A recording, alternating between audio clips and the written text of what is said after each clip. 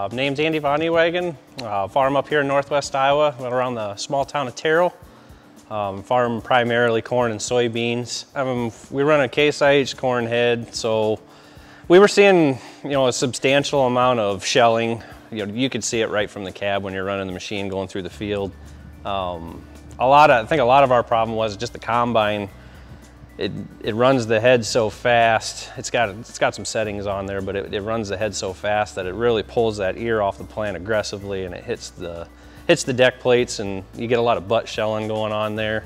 And uh, we were just looking to kind of eliminate that and uh, capture that yield loss. You know, we, you grow it all year long and invest in it and then it's really painful to watch that pour out the bottom of your head before you even get a chance to put it in the bin. So um, I guess that's that's kind of the challenges we were running into with it. The best way that we tried to manage kernel loss at the head was just try and keep our deck plates as tight as we possibly could. You know, we're, we're constantly changing that thing going across the field, opening and closing them, trying to catch as many ears as we could. And then we would also mess with speed a little bit. Um, you know, whether we go a little bit slower and try to let that corn head do its job to pull that stalk through and, and get that ear in the head, or in some instances maybe even speed up a little bit if we're getting too much boiling going on on the corn head and it's, and it's coming out the front. So uh, basically just speed and deck plate is about the only two real options that we had. Um, we bought this corn head brand new and I mean pretty much ever since it was brand new we've, we've seen that type of problem with it.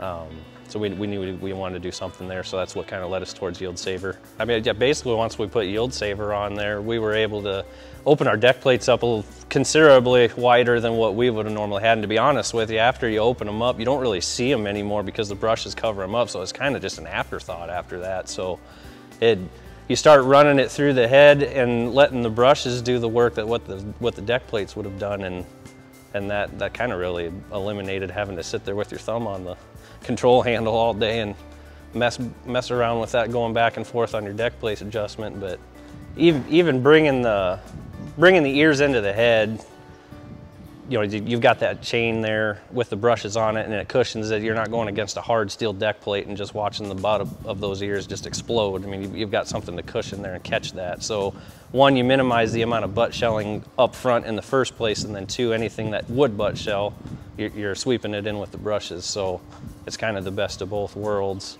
And as those brushes wear, I guess it's not, you know, it's not necessarily a huge concern for me because they're still cushioning that ear and you're still eliminating that, that butt shelling and it's, and it's still doing a good job. So I'm really happy with how that, how that does in, the, in really dry corn too. We had some really dry corn last year that it, without those it's not a doubt in my mind we probably would have had at least a four to five bushel loss if we didn't put them on.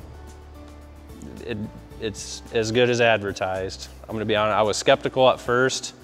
You know, am I gonna bring in more trash? Is it really gonna save that much more? And, and firsthand experience, yes, we did bring in more material, but part of that was due to the year that we had and the crop conditions that we had. We spray fungicide on everything, so our plants were pretty much 100% intact when we're harvesting it.